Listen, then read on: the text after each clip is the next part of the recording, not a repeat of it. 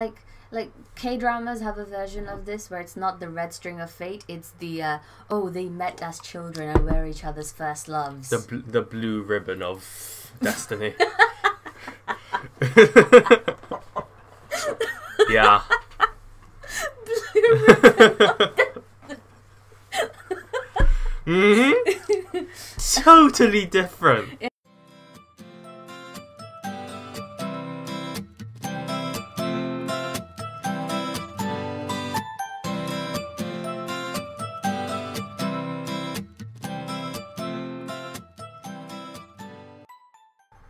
Hey guys, welcome to SWRUManga's weekly Sunday podcast. It's the second of July.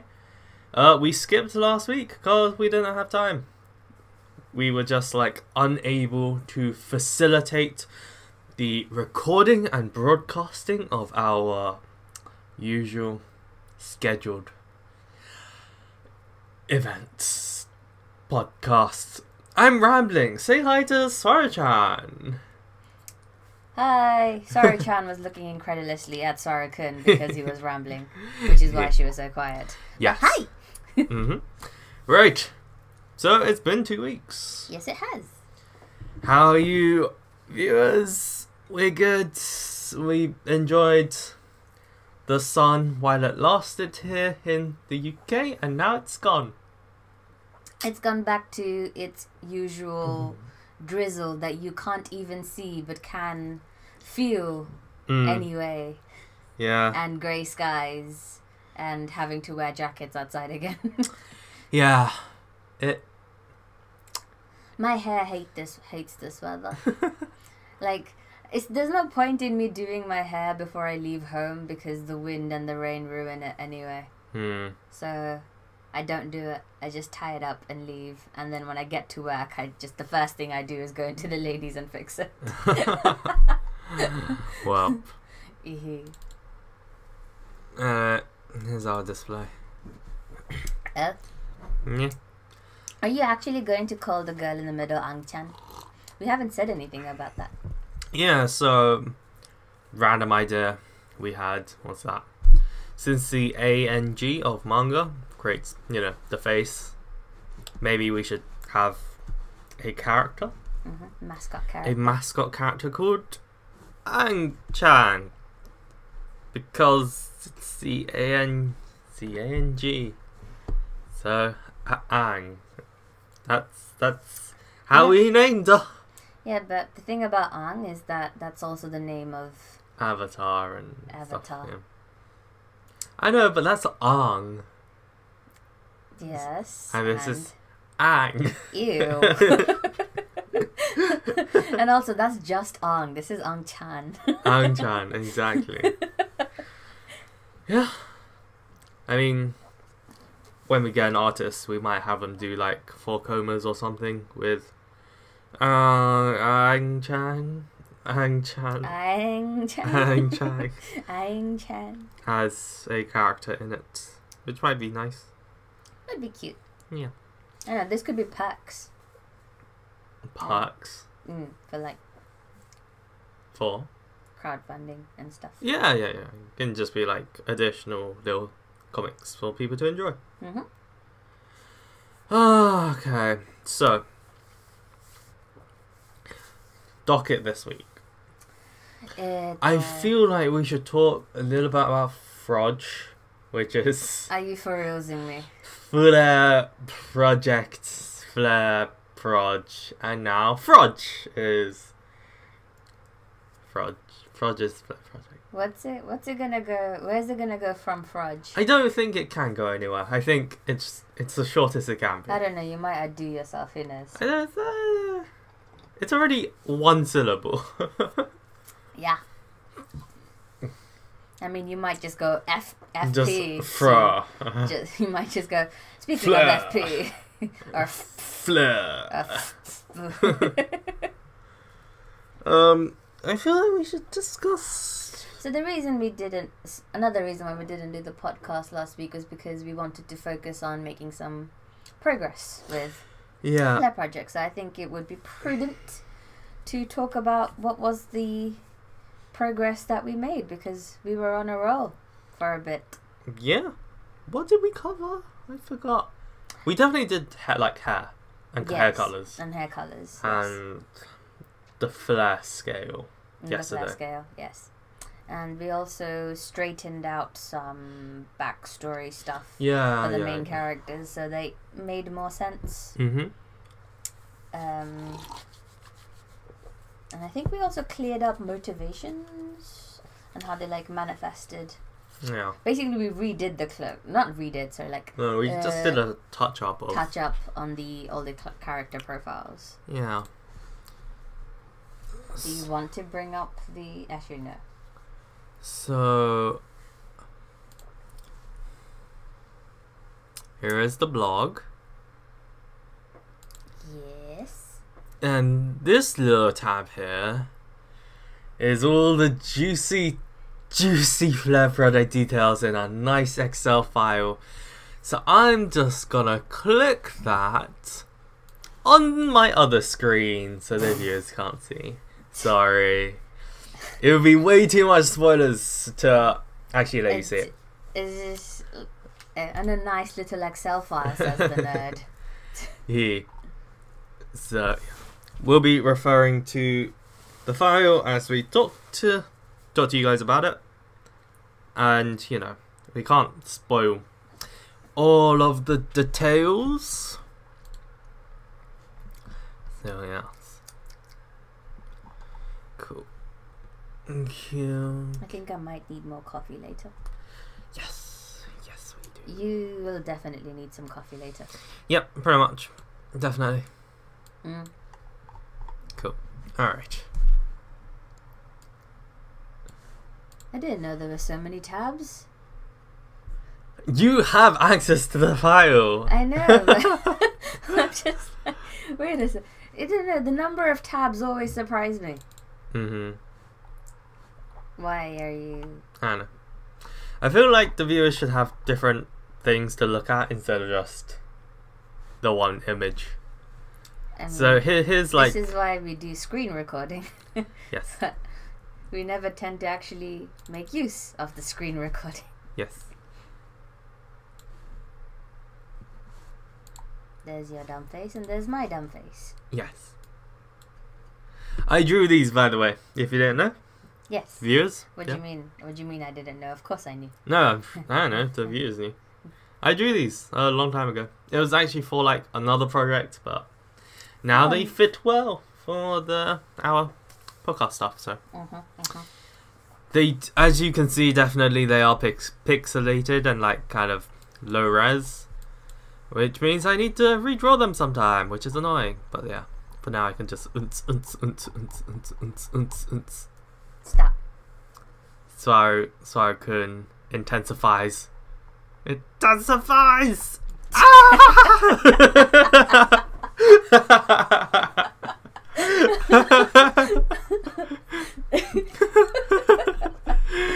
and Sarchan dunnan dunnan dunnan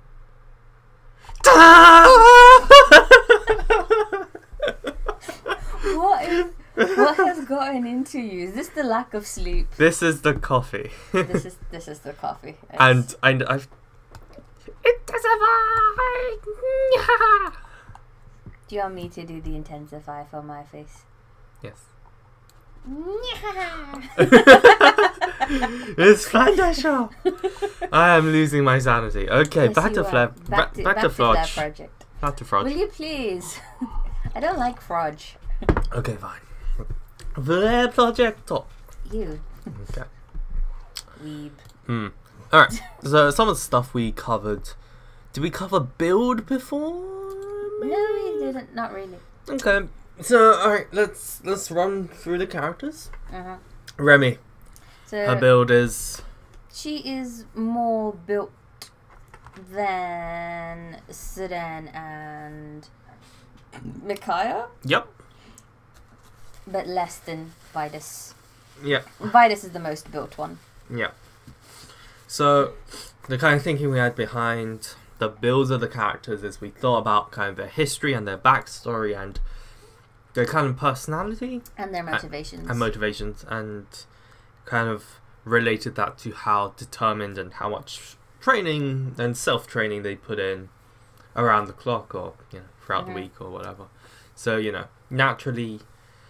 Vitus is very focused on like he his backstory is that he was always on the run, needed to be physically fit to run away, hide, build. They were like basically nomads who roamed, Mhm. so they would need to build, and everyone would need to put in physical labor wherever they moved. So yeah, Yeah. he's naturally physically a bit bulkier. A bit bulky. Yeah.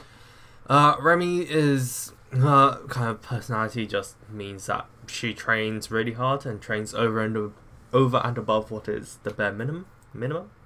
Minimum. Excuse me. Bless you. Thank you. That sounded like a okay, so uh, Remy uh, kind of goes over and above what's needed.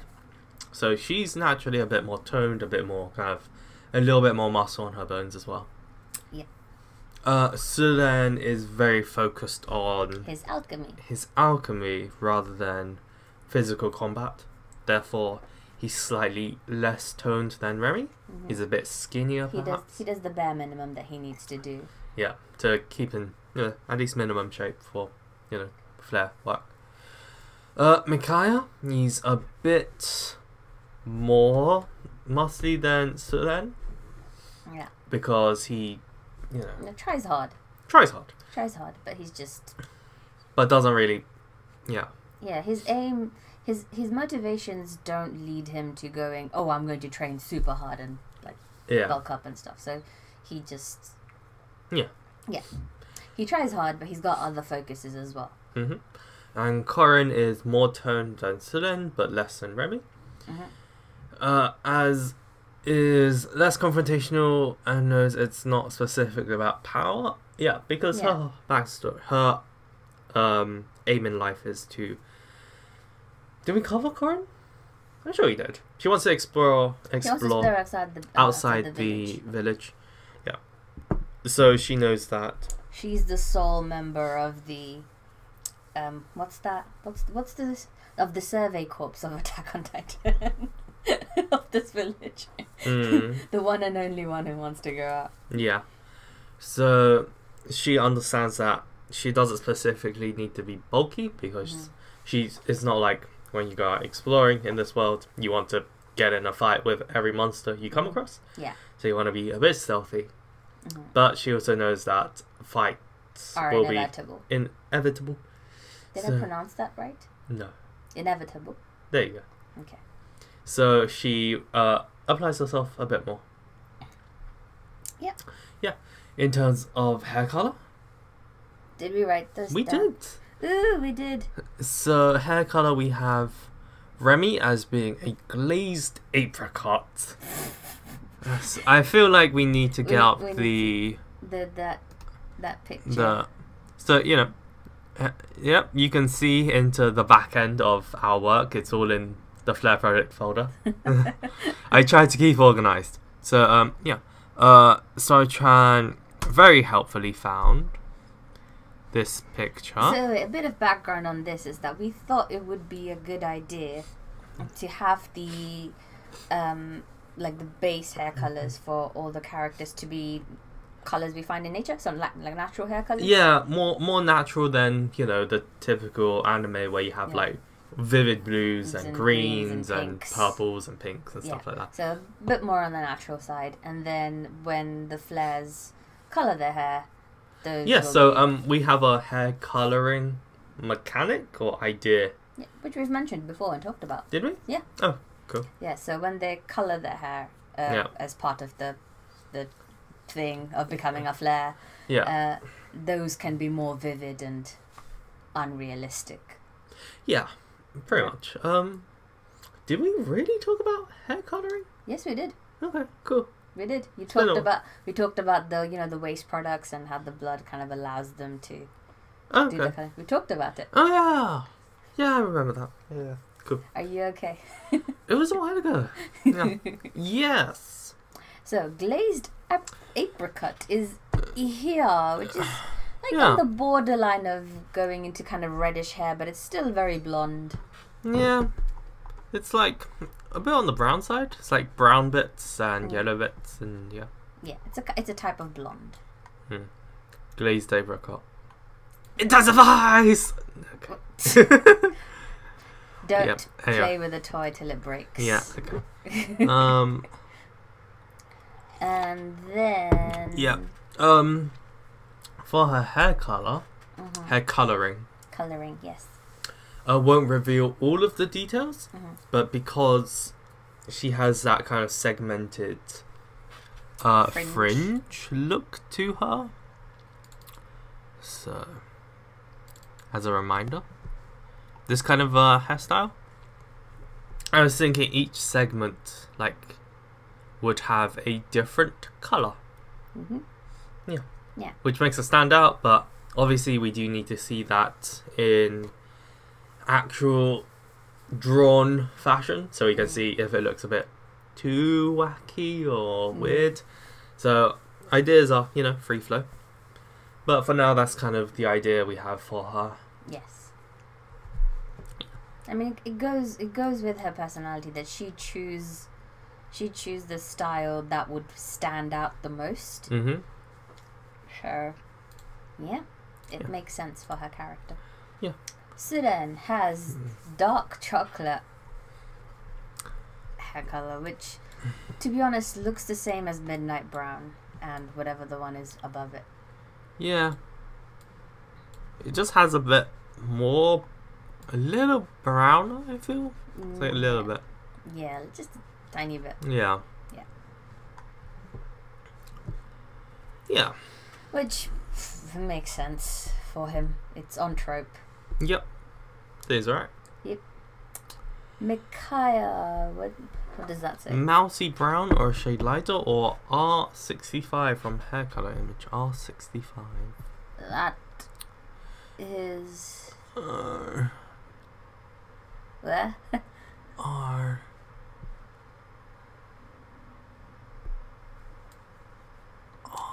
That's thirty-eight. Forty. What?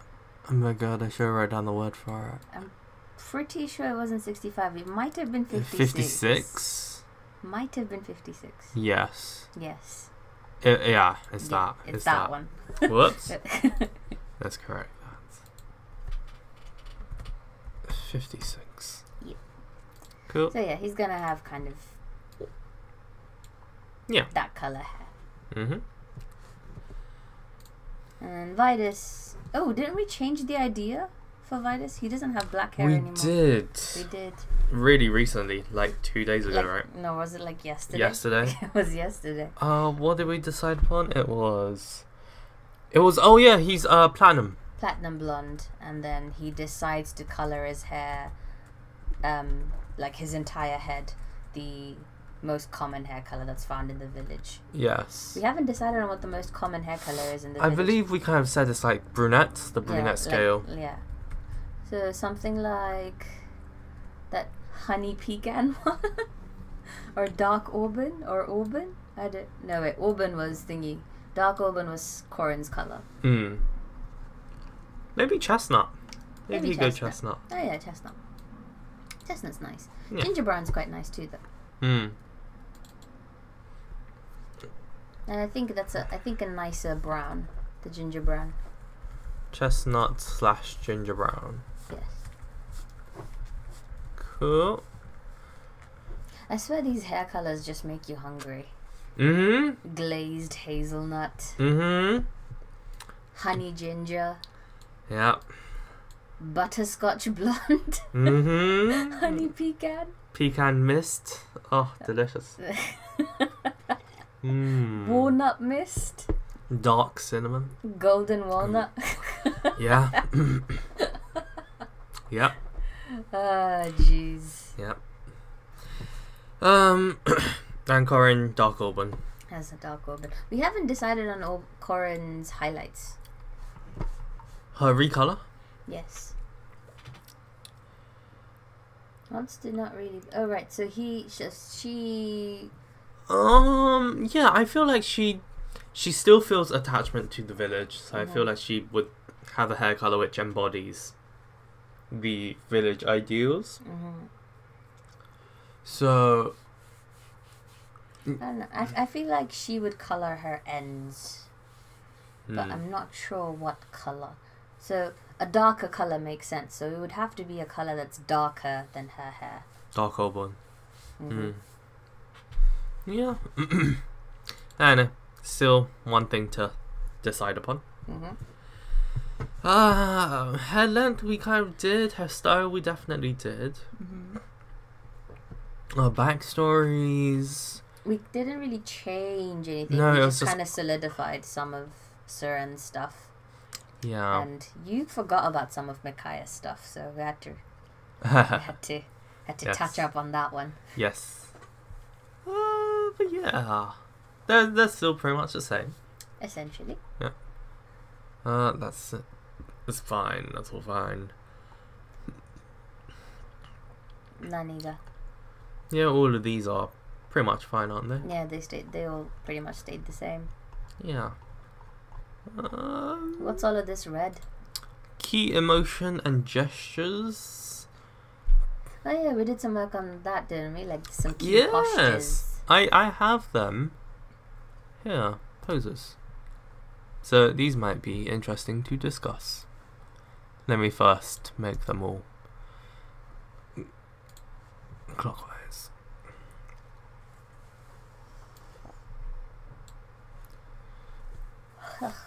Ugh. Mm, mm, mm. I'm so sleepy. Sottomatte. What? Just make your note. Hi guys. So whilst that's rotating and opening, hmm we I think they're done. we went to watch. Uh, the, the Yeah. Yeah, but sure. Uh, yeah, let's stay stay on. Stay on topic. We'll move on later. hmm Uh, so wait, whose whose pose is that again? Yeah, so I, at least I kind of had a quick think about what kind of poses characters would have. Mm, some basic poses that they'd repeat. Yeah. So we got. Also, you know, I have a model figurine thing for posing hmm from my drawing days. Also, is this a? F- the can't see this, but the male model that Sarukan has is currently in a pose that footballers make when they've when they've scored a goal. Yeah. Go. These are really decent models. Mhm. Like, uh, I got them from. I got a friend to get them for me from China because they were cheaper. They're about like 10 12 pounds, and they're a lot better at posing because you can see like the muscle structures a bit. They're not really variable, but it gives a better idea than just a normal uh, posing mannequin, which is Mm, just like just blobby, wood. just a wood blob. Yeah. It's a bit of shit. So yeah, this is much better. You can also change the hands, you can pull them off, and then attach different grips, and it also comes with like a sword and stuff for posing with objects, which is pretty cool. There's the open hand. There's the waving hand. There's holding something hand. hmm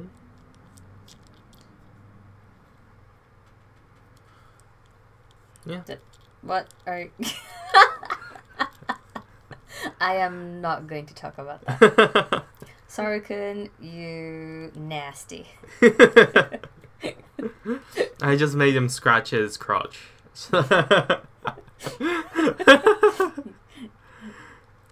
He. Uh, anyway, so yeah. So we kind of had to think about um, what kind of. How do the characters kind of stand? How do they kind of pose, react? How their personalities kind of play in. hmm So yeah, um, how to think about it? I feel like Corin. This is a Corin pose for me in my mind. See, I can't imagine it very well because that's a male figurine and you're saying Corin, so I'm kind of like, what? Yes, I know. but still. My mental imagery skills are not. Yeah. The Anyway. best. So yeah, um, cause she would have de- have definite like frustration with the village because the kind of village thoughts about explore- exploration is quite. They feel protecting the village is the most important prior- priority. Mhm, mhm. So when she so strongly feels like she wishes to explore outside, um, villagers tend to kind of not react to that so well. So I feel like she would get into arguments with them, and she would definitely come off as very frustrated because her wanting to explore is comes out of a good place, intention wise. Mhm. So yeah, uh, she would just feel like that that the villagers don't really get her, and Sarachan is having fun with the, the hands. But I'm just trying to arrange them because all the different hands are ac- are across from the. Like you know, not the opposite hand, but an entirely different thing, or the same hand. So I'm fixing it. yes, Sorry, OCD kicking in. Okay, yes, Uh, but I am paying attention and I am contributing, so it's all right. hmm Yeah, so I feel like she would have you know frustrated pose, and kind of you know frustrated. Yeah, that would be like her angry gesturing. Do you not understand? Mm-hmm. That kind of pose. Yeah. And um, when making these poses, I tried to add in a little bit of more than just the emotional side, but add in a little bit of the personality nuance to them. So for Corin, I like I've angled the knees inwards a little bit, and she's Mm. standing slightly off kilter, meaning while she is like almost on a defensive slash offensive, she she feels like slightly taken aback a little bit uh, in, in the situation. She's not like fully standing straight up in a like position of strength. Mm-hmm. What are you doing? Don't put his hand off. I'm not What are you doing? nothing. Just looking at which which hand is on at the moment. Okay. Stop. I do. this. There, that's, that's the one that's missing. You want to put it on? I'll put it on. Oh my god. What? Yeah. Right, so. Yeah, I feel this would be also a Corin pose. That's what did what did you say that one was again? Uh, just like frustrated, doesn't want to listen to others when they call her like a traitor and stuff. She just turns away a bit. So her main three poses are all frustrated. I feel like, um, like a huge part of her is like frustration with the village. Mm. What do you think her kind of key emotions are? Well, and well, frustration is going to be a common one, but I feel like she should have other one, other emotions kind of be common for her as well. Okay. Although I Such suppose, as? although I suppose What anger, was anger would be one of them. Yeah. um. So frustration, anger. What else? I'd say determination would be one. Okay. That's mostly really visible when she's training. Yeah. Mm, where else?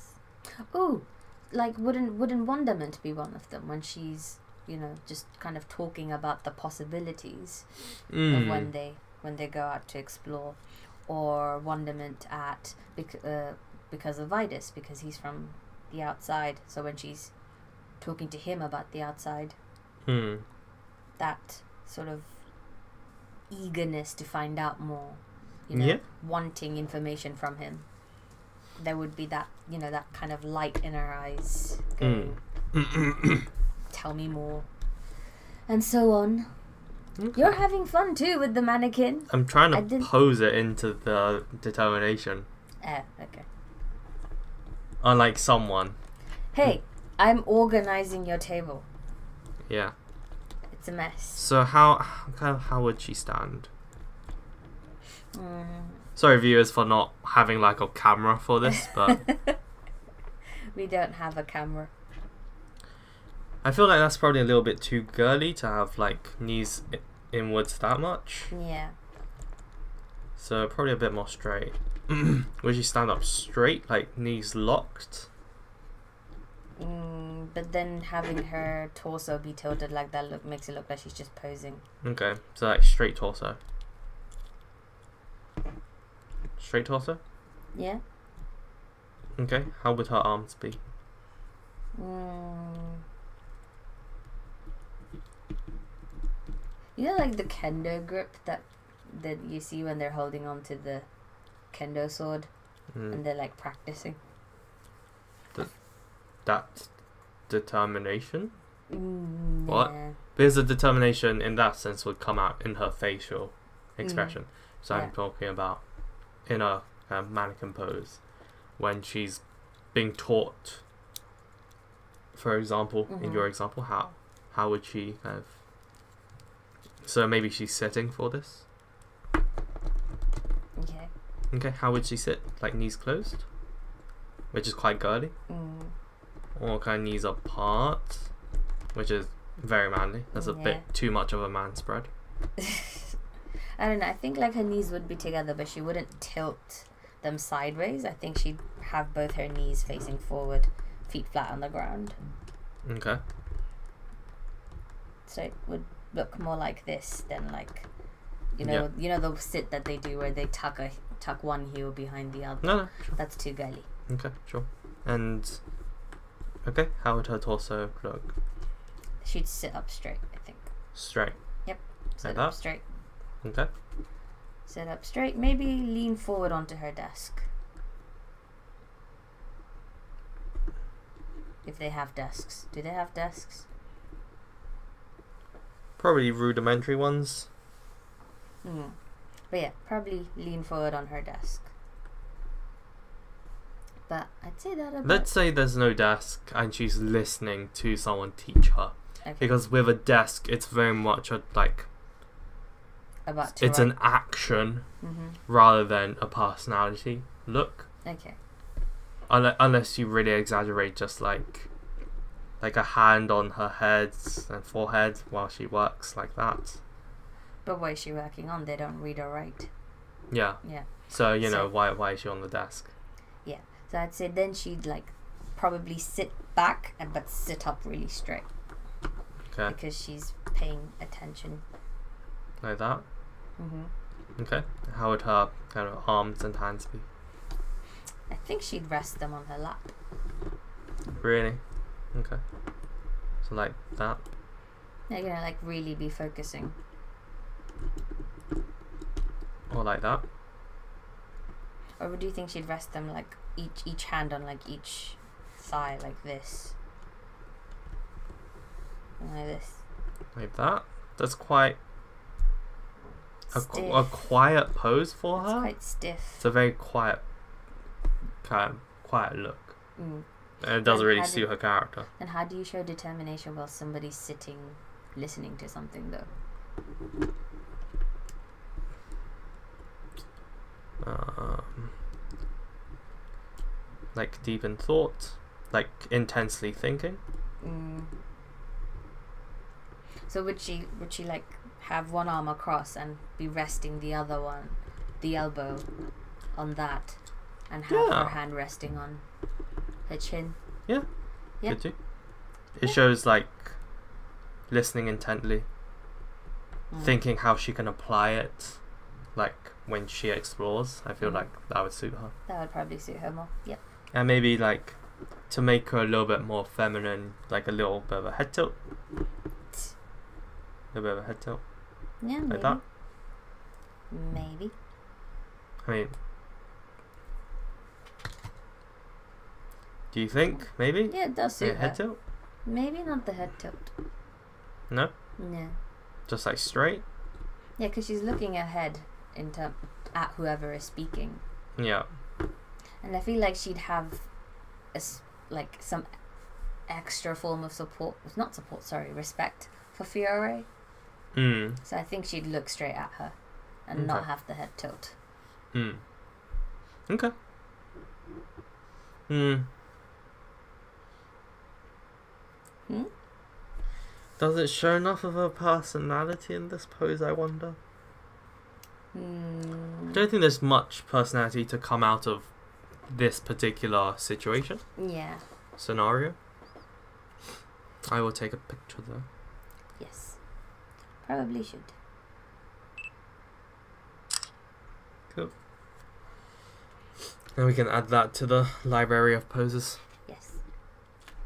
The phone camera is really loud though. It's because I have the shutter sounds turned on. Yeah. Uh, okay. Next up, still Corin, and kind of Mhm. like when the villagers might be starting to get riled up against her, she's kind of like calm down. hmm It's yeah, maybe and It works. yeah.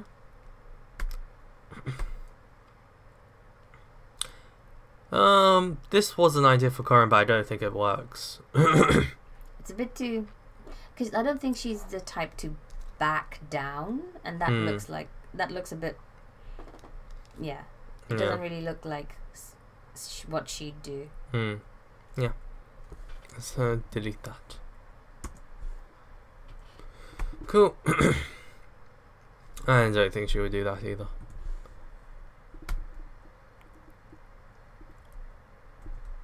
Uh, what was this about? Nope, don't need that. That Yeah, Midas? this this is when she's like, uh, Fidus? No. It's just when she's like kind of feeling down a bit Mm, and kind of doesn't want to meet eye contact with people. mm, But I don't. I no. She would be. She would stand proud. So mm. yeah. yeah, I don't think she'd really. The this is Vitus. I feel Yes. yes. So he is the type to kind of stand up straight. He wants to make a good impression on people, on the village. Um, the thing is, he is not fully straight. Kind of standing perfectly straight. Mm. looking towards the camera or you know the Mhm. frame and he's slightly off kilter because even though he is presenting himself as like confident and you know you can trust me and Mhm. trustworthy he's this he feels slightly off Mhm. and uh, to kind of show that in characters you would typically have them being slightly off kilter slightly off balance so that's why i decided you know he would stand up straight but he would also be Yeah, at an he- angle. He'd probably sort of lean forward when talking to people. Yeah. Um, unless unless he's talking to Remy. Mm. So yeah, the kind of pose I thought for him. Um, kind of when he talks to people, he would, or looking down or talking to people. Mhm. Feel like he is inside. He's a bit nervous, so I feel like he would grip one hand kind of like behind him Mm. and maybe dig his like nails into like his palm.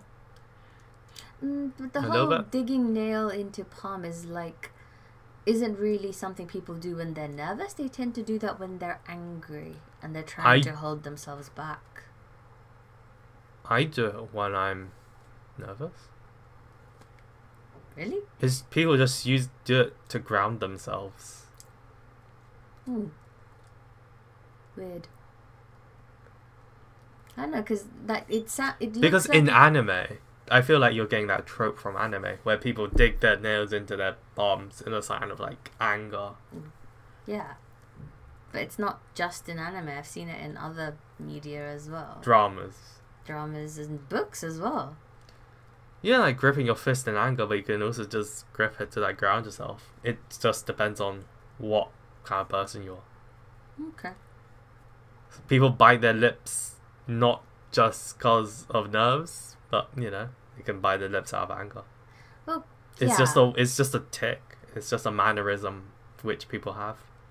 People do it for different reasons. Okay. Yeah. Okay. Yeah. so so yeah, I mean like I don't know, maybe he could like grip a thumb instead. Maybe. Yeah. But either way, I feel like he would have a tick He'd have, Where have a he- nervous tick, yeah. kind of hides behind his back hmm when he talks to people.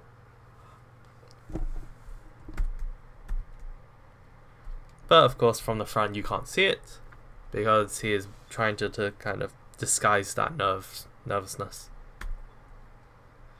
That was for Remy. Um, no, it's it's still Vitus. Is it? Yeah. Oh yeah, this not the the the torso pumping up. Yeah. Never Yeah. mind. That's still Vitus. So we were thinking about kind of the way people greet each other in the village. And it's really hard to come up with just like a normal looking greeting Yes. without just copying it from real life in terms of like a wave or, hmm you know, or a bow in Asian cultures. So yeah, currently the idea we have for now is like it kind of feel, comes off more as a salute where they kind of place their hand over their chest. Yes. But yeah, I don't know. It's still it's still up for discussion. I feel hmm. because whilst it seems to work, it also feels kind of unnatural. Yeah, but like all salutes look unnatural when you think about it. They And do, lots of greetings also look unnatural. Like a bow, if you really think about it, it's just like that's pretty weird.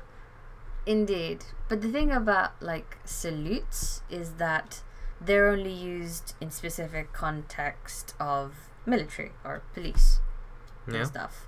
So I feel like this gesture too also feels like that, that it makes sense for people to greet the flares like that. Hmm. But it doesn't feel like a casual gesture that you would direct at anyone that you're just saying hello to, like a wave. Yeah. There's a little too formal. Yeah. Uh, I don't know, because like a wave is like fine.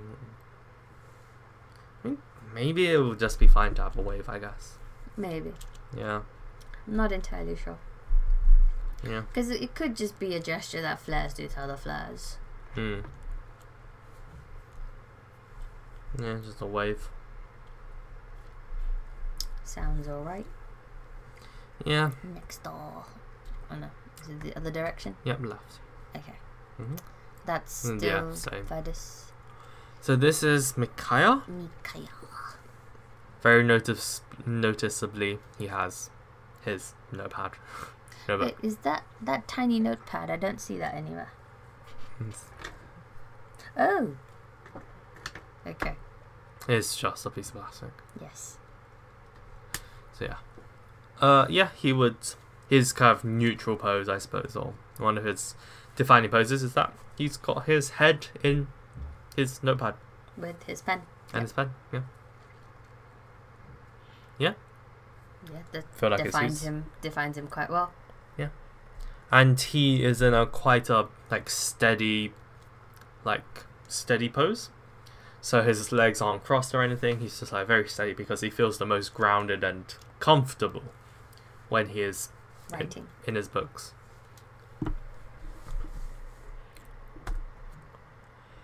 Uh, this is like very kind of outlandish, very like outgoing because I feel like this is when he would be doing a theater, not theater, reenactment Mm-hmm. of like a big battle when he's like telling a story Mm-hmm. and try like especially Trying with to children dramatize it. dramatize it for like at least for like the kids Mhm. just like man wow, that was amazing like Mhm. throwing his hands up in the air kind of make it really vivid in the kids heads Yes. Yeah. Yeah. Yeah, that is very, a very Micaiah pose. yeah and it look, comes off as a bit goofy and just like he looks a bit silly yeah Yes. it fits him i feel uh this is him when he is kind of i guess interviewing or just talking to someone who's come back Mm-hmm. And And trying he's- getting the stories from them. yeah, getting the story down. Um, and he's actually wiping away a tear. So he gets quite emotionally Invested. invested in um, the stories that are told. So obviously this would be a sad part of the story when hmm So yeah, uh, but he is determined in his kind of writing, so that even whilst being told of like the tragic events that might have happened, he is still, you know, wipe away a tear, but like Keep keep, writing. writing. get all the details down. Yeah, there we go. Same There. as well. Wiping away tears whilst looking away. Yeah. Or listening intently, but still writing furiously. Yeah. Yeah, makes sense. Uh, his knees, legs being together is more functional, just to keep like the pad, uh, on level. This is Sudan, I believe. Yeah. So when Sudan has come across a, uh, he's achieved something in alchemy during his self study. He's just like standing up and kind of looking at it, just being like in wonder of it and just like feeling confident like oh my god this is really cool i'm gonna go tell this to the Whoever teaches alchemists alchemy the alchemists and hopefully get you know promoted. promoted and the way his so he's holding it in this hand and i felt it would suit if he had his other hand kind of or not like he's afraid it's gonna fall but that kind of feeling of just like oh Probably it's should. like oh it's amazing and his other hand just naturally just is under it just to kind of in case it falls Hold it up. Yeah, you know as you do when you're holding something important you just like naturally kind of just Oh, al- careful almost cradle it. Yeah. so I feel like that suits. Uh, this is when he's a bit more dejected. It.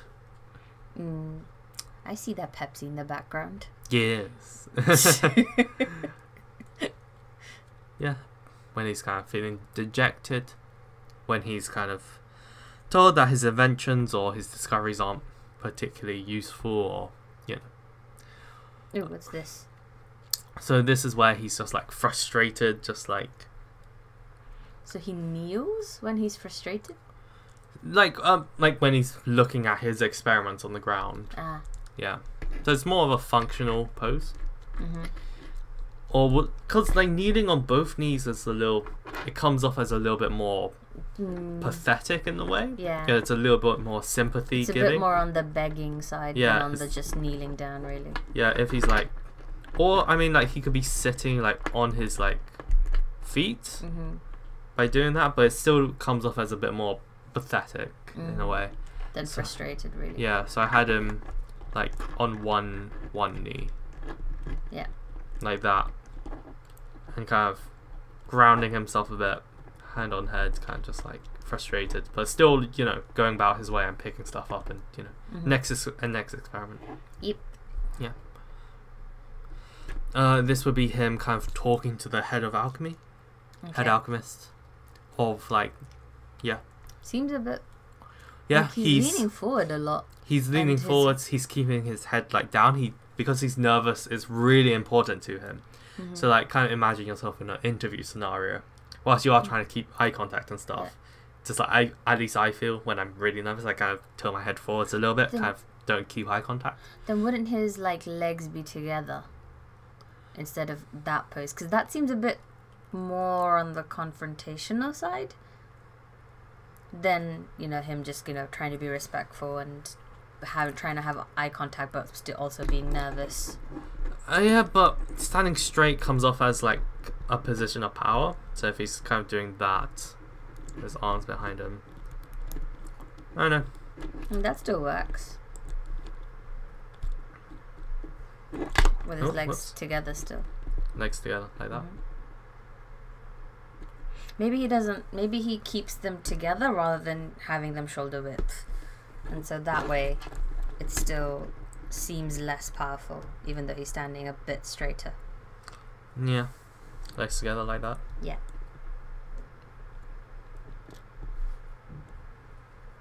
Yeah. Because having one foot in front of the other is like you're preparing yourself for a fight. It's not just that, it's also just like almost being pushed back. That was my thinking behind it. Just like he's standing like straight. But you know, it's just like got one leg behind.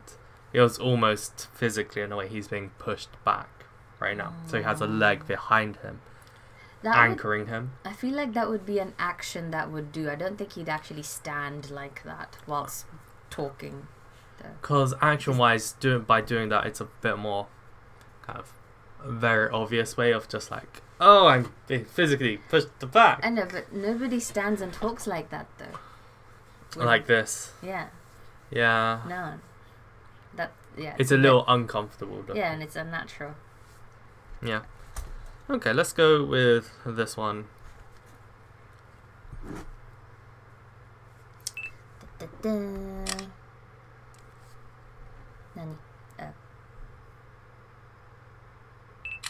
hmm Right. Is this one? This one is just him working at Uh, the, Alchem- the stuff Ah, on the ground. okay. Okay. But so does that mean he's kneeling? Yes. Okay. And this is? So this is how he stands, kind of natural, like naturally, I believe. Okay. So Where not, he's so just, straight, like, but not fully straight. Straight, but like a little slumped forwards because he doesn't really care about how people perceive him. Mm. So he's just like, I'll just stand in a relaxed way, just like, meh, don't really give a shit. hmm So yeah. He's not like standing up straight like Vitus, trying to be presentable or anything, because Mm. he doesn't really care about being presentable. He Mm. does it. The thought of fitting in with the village hasn't even crossed his mind. It's not. Yeah. Yeah, unlike Vitus. So yeah, he's just like kind of slumped a little bit. This is just like an action pose in terms of just like flares hmm fighting. So Yeah. more functional.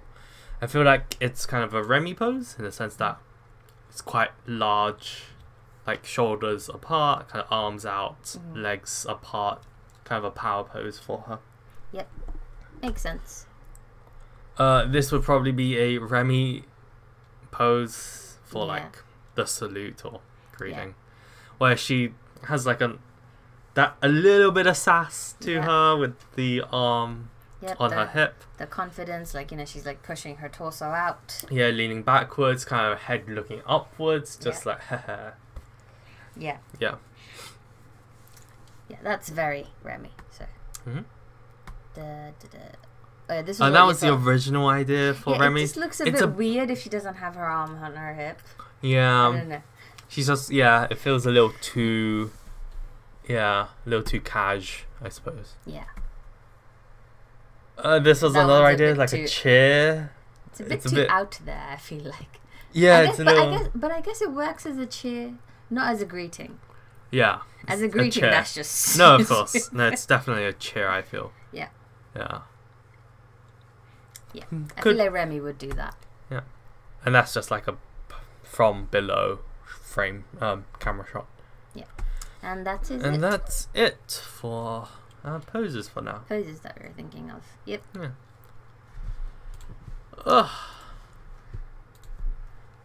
Now Yeah. that we're done with that bit, we went to watch In This Corner of the World on Friday. Yes, we did.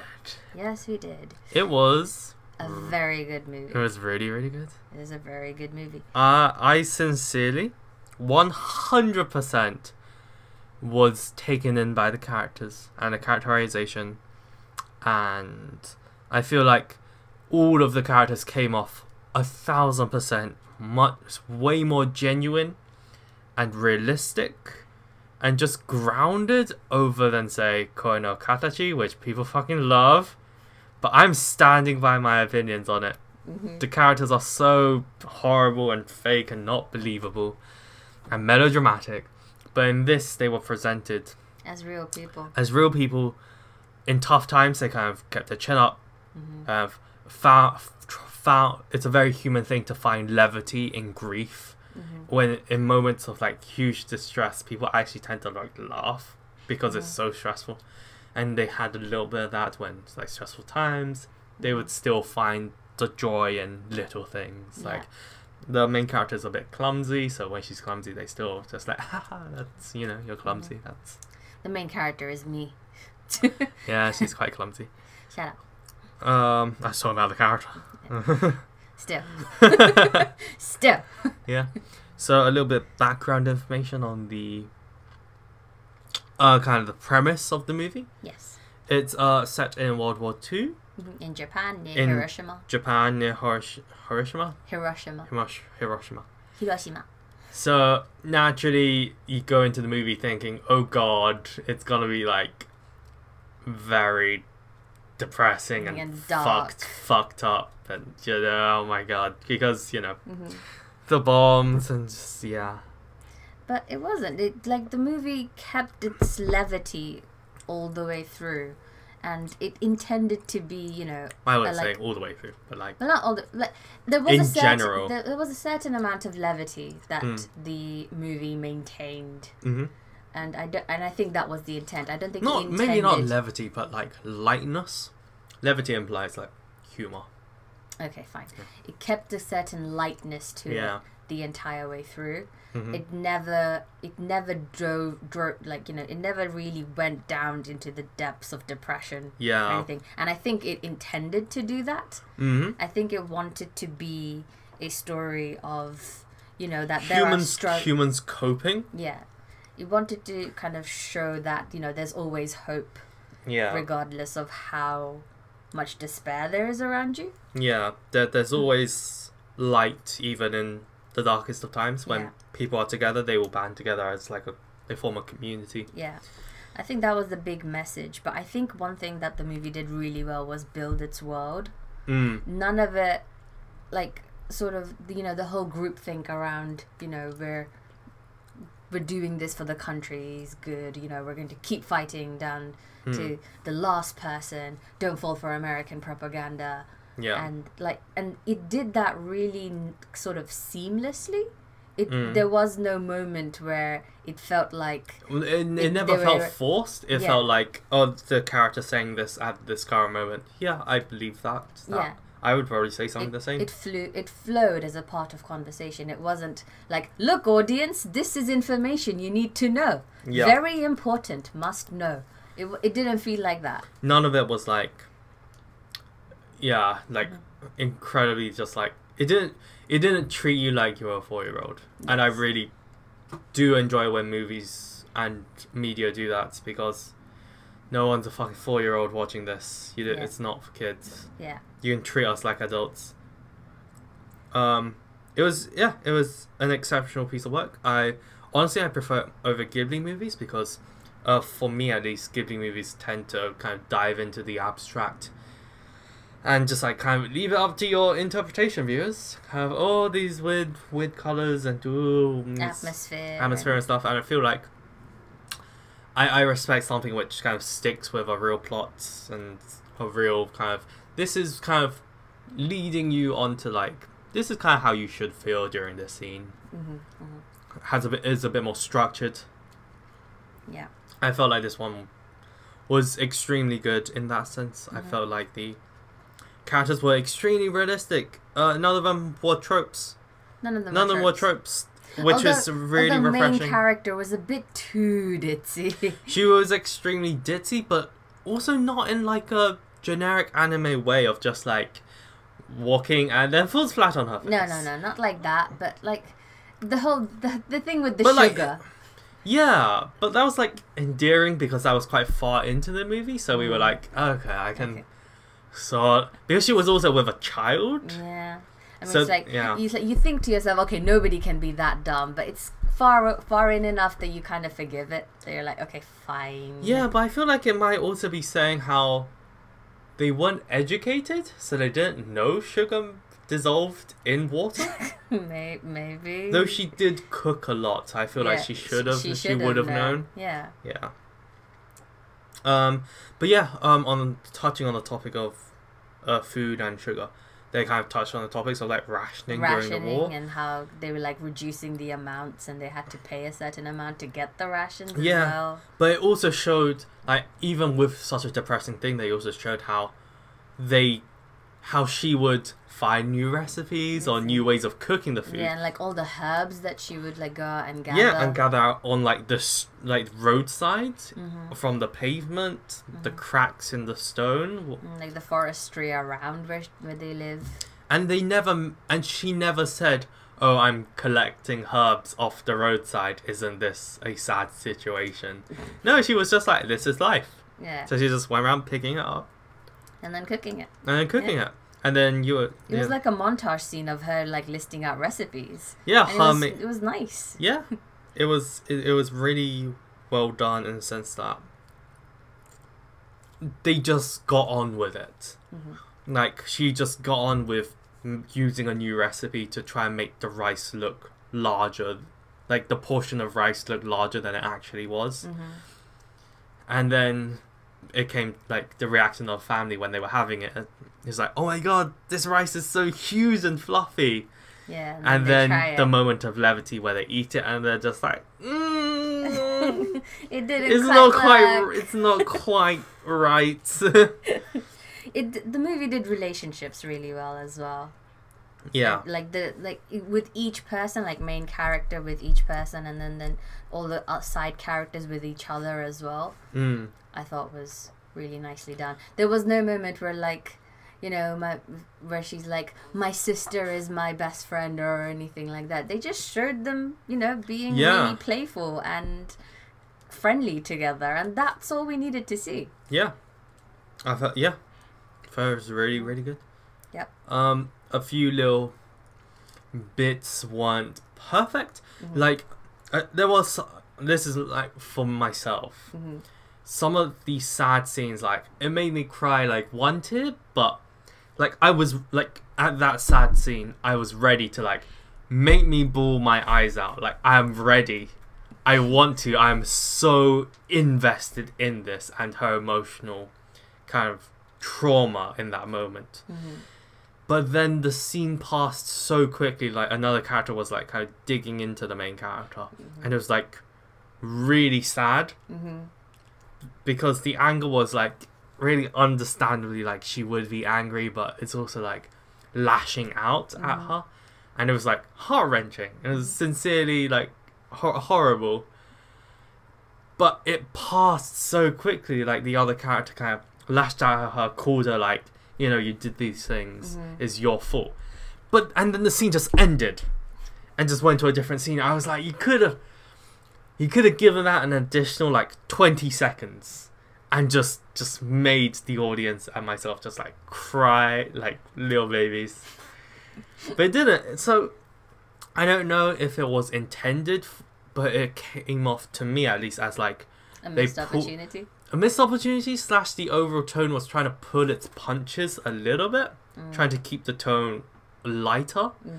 which you know it's their choice for making it like that but for myself i i wanted to cry i want i wanted them to be to gut punch me and really dig it in because they oh yeah it would have been uh, anime hasn't made me cry in a fucking long time and this had like the potential to just really hit me in that soft spot. Mhm. that anime just anime emotionally has just not not hit me at all for like years. It's been sincerely just like bad writing and bad characters most of the time. For most of the stuff i watched. So yeah. Yep. And it did have some bits that kind of didn't make sense, like a little bit like near the end there was this sudden sh- like sudden different shift and i thought it was it was a flash forward into the future with Yeah. the main character but it wasn't. It was just a random scene yeah and it was just like context to something that happens near the end. So i was kind of just like okay that was that felt a little bit tacked on. Hmm but yeah. So there were some bits of it which were like um it's like uh, did it hit perfectly? Hmm but as an overall piece of art and storytelling, I felt it was like phenomenal. hmm It was absolutely phenomenal. It was It's probably the, And oh, yeah. another thing, character consistency. yeah, They were all very consistent characters. Like, of course, they change because of what happens Mm. around them, but it it melded well with their personalities, Yeah. which they esta- which they took the time to establish. yeah, and any changes that happened Mhm. in terms of personality was like gradual. Mhm. It wasn't just like sudden shift. I'm now a totally different person. Yes, personality transplants. Yeah, which happens so fucking much in anime. For fuck's sake, Jesus. Calm down. Calm It's like you went through okay. one training montage. It doesn't mean you get to be a the, badass. the- a badass cool guy now. For God's sake. it's okay. It's okay. Yeah, It's okay. I can see the steam coming out of your head. yeah. But yeah, I, I was I was very glad that I watched it, and during it, I felt it like it's a great piece of work, and it's something that should be watched, even if you don't specifically love it or like the kind of viewing the part, like the history and the dark these dark times of humanity. It didn't That really it- focus on the war that much, though. Like the war was, the war was the In world, the background, yeah. in the in the world that they were in. It was their it was their life, Hmm. but the focus was solely on the main character and those around her Yeah. and her journey.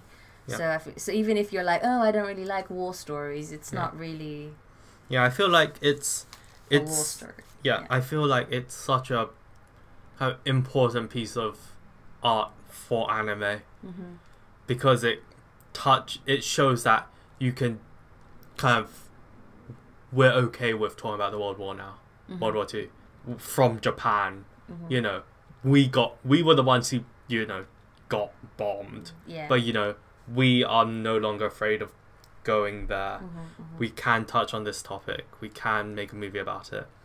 We can do it justice. We can make characters feel real know, and sympathetic. real, real and sympathetic. And it, it really did show just like because we're taught it like at least in the Western countries, just Mhm. like oh Germany was evil and everyone who was part of that you know that movement were evil. They were all bad people. And thank God the Allies. We even call like the Western Mhm. the Allies versus the Nazis. Yeah. So we always kind of had that tone of they are the enemy, they are bad people, Mhm. but ha- showing real, just like rural villagers, just Mhm. being like, well, shit, it's another, you know, air raid. Mhm. So, you know, all right, let's collect our stuff, let's, you know, bunk- get into the bunker Mhm. and stuff like that. And that, the toll that had on them because it was so freak. At first, it wasn't frequent, but then it Mhm. became like More more. literally daily. Mhm. Or where they'd have multiple ones daily. Yeah, and oh that oh that scene when I forgot to You talk about can't. this. You can't. I, I can't no give spoilers. No spoilers. No spoilsies. But when the fire Uh, and the blankets. yeah, I yeah. No, no. Yeah. Don't don't talk anymore about. I know. it. Stop. I, I was like, oh my god, fuck. Gee, oh my god, that's oh. Sorry, couldn't spoilsies. Sorry, couldn't spoilsies. Sorry, Yeah. couldn't spoilsies. It was phenomenal. Uh, yeah, I they did. it was okay. so good. One thing that you can talk about is the sound effects for the bombings. Mm.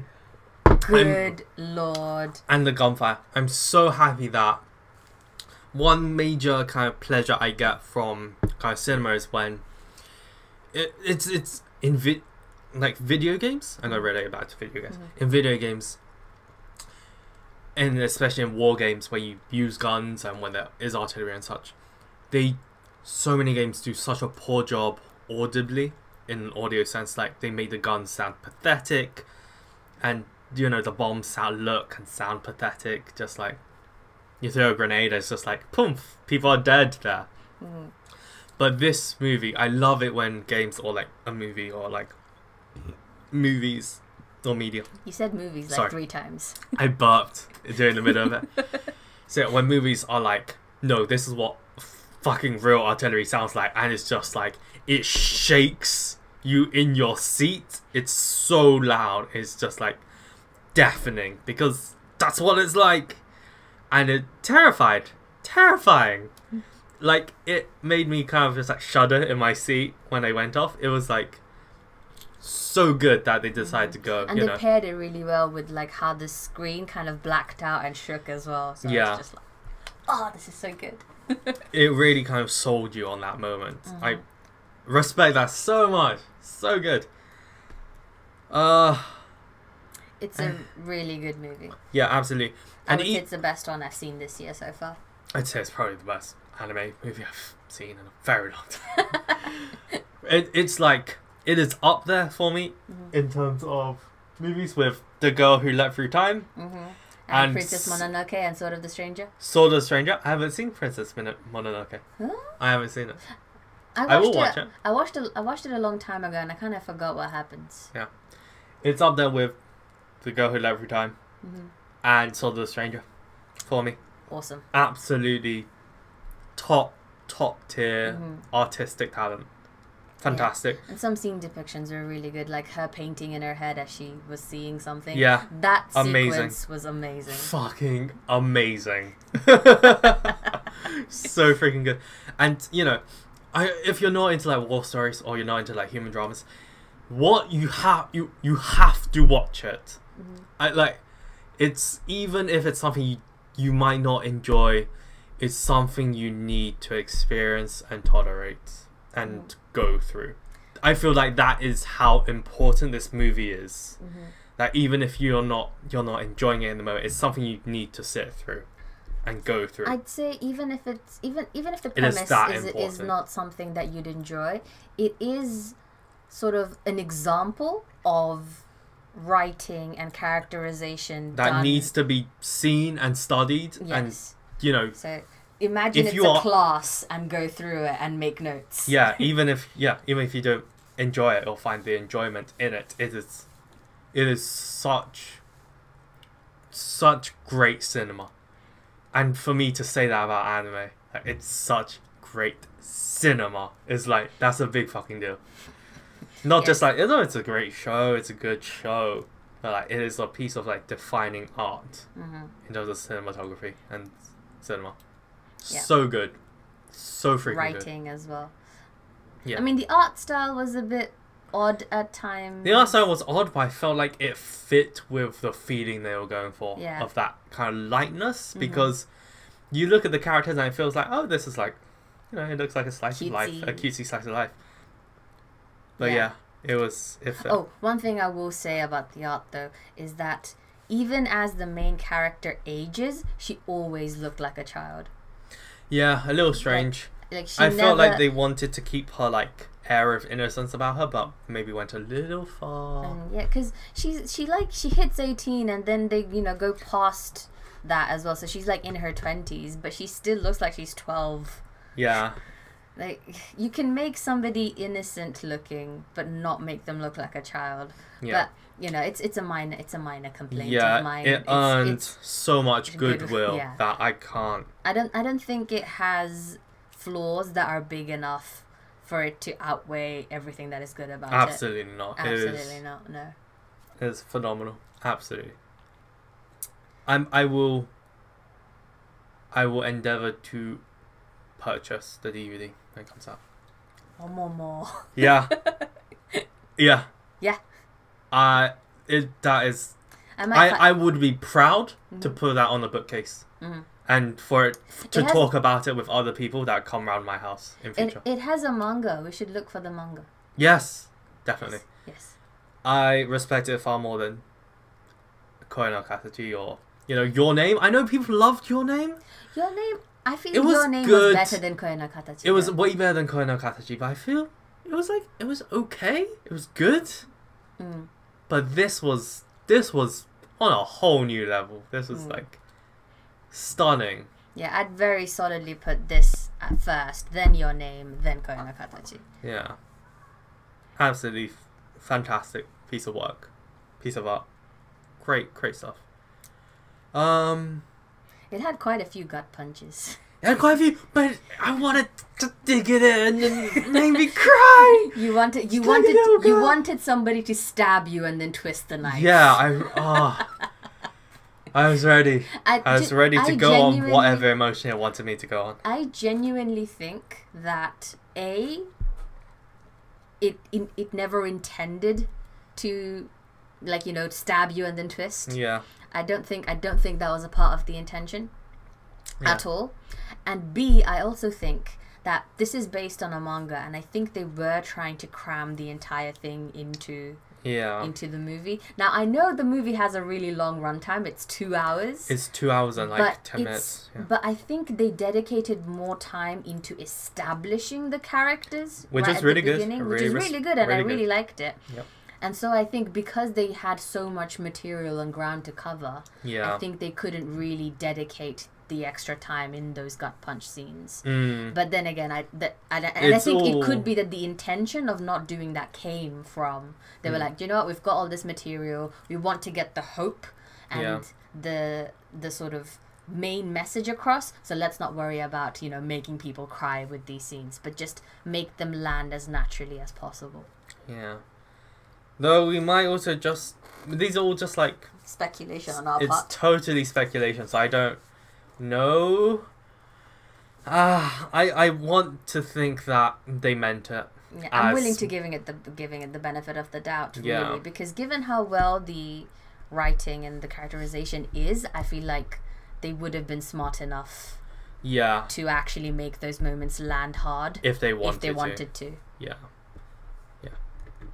It's it was just I suppose my my personal want Want to want cry. to really feel something from anime.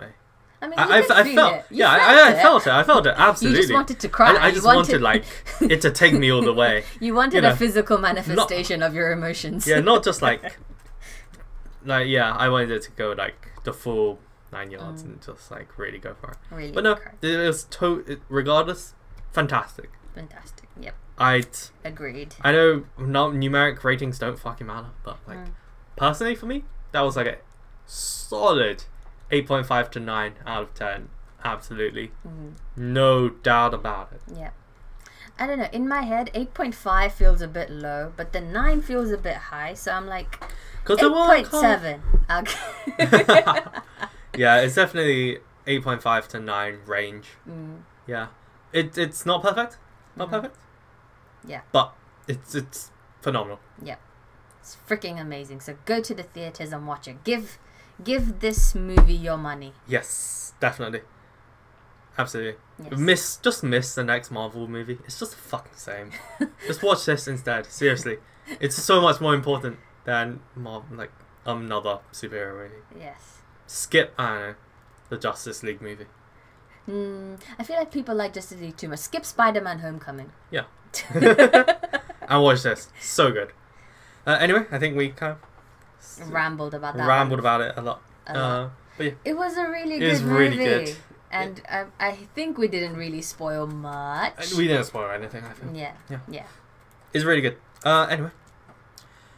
Um, what else do we have to cover? I suppose news, but there's really not that much Yeah, interesting I mean, stuff new on. anime season is starting. People are freaking out about Amazon strike, and to be honest, with good reason. Mm. Amazon strike is like really expensive. Is it? yeah, like Crunchyroll and like Funimation, they're like under ten dollars or something a Mm. month. But then Amazon strike is like you need to have Amazon Prime and you need to have something else, and then you pay the Amazon strike stuff on top. Oh god, So it's a I- bit I already don't have Amazon Prime at all. So yeah so there's that and the thing is is that amazon prime uh, not prime sorry amazon strike they're getting like they're being really selective about what anime they bring on mm. and in the, and everything is an exclusive they're like this one and amazon striking exclusive. This one also amazon striking exclusive but then they're Mm. not bringing on some other shows which crunchyroll would have. So people of course they don't want to have multiple subscriptions so that they're able to watch everything that comes in a season. Yeah, and amazon strikes like super expensive.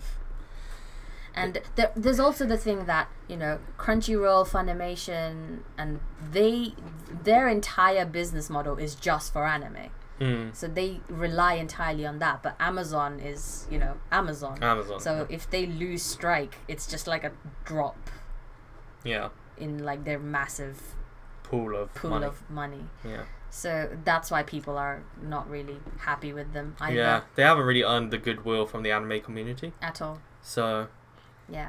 Yeah, they just kind of came in, and it feels more like a business decision rather than uh, we're doing this for as a For- service for, our community. For our- yeah. for and the I don't think they're doing simulcasts. What? Not simulcasts, sorry, simul dubs. So basically, um, an episode gets dubbed as soon as it comes out, and then gets released as a dub. Okay. So they're called simul dubs. Right. So I don't think Amazon Strike does that, where they release the dubs. Oh, okay. I'm not sure. But yeah. Yeah, not too much interesting news. hmm Um. Oh, shit! Should have made this announcement way earlier. Well, By the time you hear this podcast, the website should be up. I'm gonna say it. It should be up. Yeah. it's ready. It. I. I've worked on it, and it is. It is pretty much ready to go. We just are gonna do a soft launch before you hear this podcast during this day, just to see if the parts kind of work properly. I've tested it quite a lot, but it should be good for you guys to check it out. Yeah. When you hear this. patty patty patty. Yes. Uh, obviously, we're gonna be making multiple announcements. So if you haven't like made it this far into the podcast, or you missed this bit, or you know you took your headphones out and just missed it, Mm. we we're gonna put it everywhere. Website, website, website. Website, website, website, and yeah, and we'll also send out like weekly reminders that it exists. So. Yes. Go to our website for everything. Yeah, so basically, the website is a hub for kind of all our activity, pretty much. So there is a Twitter feed, there's a Facebook feed. Mhm. Uh, it is also connected to the YouTube channel, so you'll be able to see the latest podcasts and latest videos we do Mhm. on the website. So you know, you don't need to, you don't have to, you know, keep a tab up for Twitter if you only follow us or whatever, and one for Facebook and one for YouTube. You can get all of uh, the stuff we send out On the website. on the website, including blogs, of course. Blogs are going to be up there. Uh, you can also contact us really easily through it. You can there's an email option. There is also a just contact us form on the website. Uh, and there is a concept art section which will be populated soon enough when we get an artist, which we are going to be looking into starting today as well. So things are happening. Exciting things are happening. Exciting things are happening. We're going to start looking looking for an artist to work with. I mean, ev- at, at least just for some concept art, if not for the whole thing. But Exactly. Yes. We need to get that going. Yeah. Super exciting times ahead. Super exciting. It's also a bit scary. Very scary. uh, have on on that note of um the website and stuff. Um, there's a poll on the website, and it's just kind of figure out. You don't have to take it as optional, obviously, but it helps us if you do. Like if you do want to support us later on when we do actually do the Kickstarter, you can kind of choose from a number of like ranges of how much money you'd be like happy to give. We're not obviously not gonna like force you guys to give a lot of money or whatever. Everyone has their own financial situations, right? So Yeah. uh even if you can't or you know don't want to give any money, there are ways you can help the cause, which will be pretty sweet. Just by spreading the news at that time. More details about that, but if you That's a bit down the line, though. So mm. but if you've already set aside like, yeah, I want to give these guys like five bucks, then you know, just on the poll you can just click the like five dollar option and just be like, so we know, so we know. so we know when to sort of actually officially start launching. Not launching, like you know, Do working, Yeah, working and stuff like that. Yeah, cause, and we and we we asked this because the one key piece of advice ev- everybody who's done a Kickstarter gives is you need to make sure you have people who are willing to help you Mm-hmm. when you start the Kickstarter. Yeah. The largest influx of for your Kickstarter is like the beginning, and then it will peter out during the middle, and then hopefully it'll pick up at the end and help you hit your goal. But yeah, so we really want to do our work justice and Excuse me. Bless you. yeah. Allergies? I don't know. Did you not have your tablet? I didn't. I will do. I will do. Okay, fine. I will do.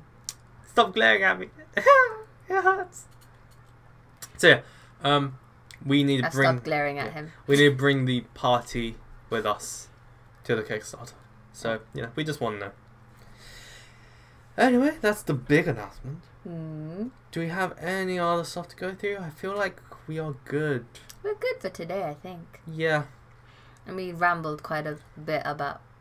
Oh, go read my blog and then go watch Tsuki ga Kirei. Oh my god. it's a really okay. It's a it's a romance anime done right, in my opinion. So if you don't like romance, then fine. That's absolutely fine. You don't need to watch it. If you don't like slow, um, slow paced shows, that's absolutely fine. But if you appreciate good writing with you know with natural characters and natural delivery of of you know dialogue and story progression, go watch Tsuki ga Kirei because it's yes, it's a teen romance, but it's done very well. And yes, read my post and then go watch it. Do it if you like romance and if you're okay with slow pace shows. Do it. okay. Well, it's not loading for me right now, but It's not. that's because my laptop's garbage and I need to replace it. Yes. And you still haven't looked at any new ones. I haven't. It's just yeah, been busy, and financial situations. Yes. So yeah, Sigh. don't worry, the site's not broken. My laptop's just garbage. Anyway, I think we should probably call it for now. Also, we obviously use OBS, so you know. Yes. yeah, I feel like uh, I feel like we have covered all we need to. Yes. So we can sign off now. Thank you for joining us Yeah. again, and if and thank you if you have been listening for this entire thing. Yeah, absolutely. Uh, we noticed that we, there's like good ten people or so who always watch. Yes. About ten, like always, and we're really happy about that. yeah, So it makes us feel all warm and fuzzy inside. Yeah. It's like, oh, thank you. so yeah, really thank you for the support and thank you for the continued support. Thank you in advance. Yes. Um, we are gonna be plenty. Stuff is gonna be moving Yes. from now, so definitely keep up with us. Uh, we're gonna have a lot more interesting news and hopefully concept arts soon enough. Con- but we say soon, but we're looking at a timeline of like what two Couple of months? weeks, couple of weeks to like a month, two months. Yeah. To, to like, We well, really don't want to rush it. We really want to find someone who works well with us. mm, That's really important for us. yeah. Yeah. And yeah, so Yeah. Thanks so much for joining us. that's it for today. And S- Sarukun started, so I will finish. Sure. Uh, thank you for joining us, and that is it for today. See you next week. Saru-chan out. Oh, also for um subscribe, Uh, like. yes, forget. Don't forget. don't forget to subscribe. Don't forget to like. Go check out our blog. Go check out Twitter, our Facebook and Twitter. Twitter, Facebook, check out our blogs. Yes. Check out kind of the old videos. Yeah. Yeah. Um, and check out the websites. Go to the website. It's spelled swrumanga.com. dot com. That's it. Easy. Do it. It's amazing. And give us feedback. We're really open to feedback on it. Yes. Yeah. We, we need feedback. Anyway, yeah, definitely. Mhm. SWRUManga signing off. Bye. Bye. Wait, どこ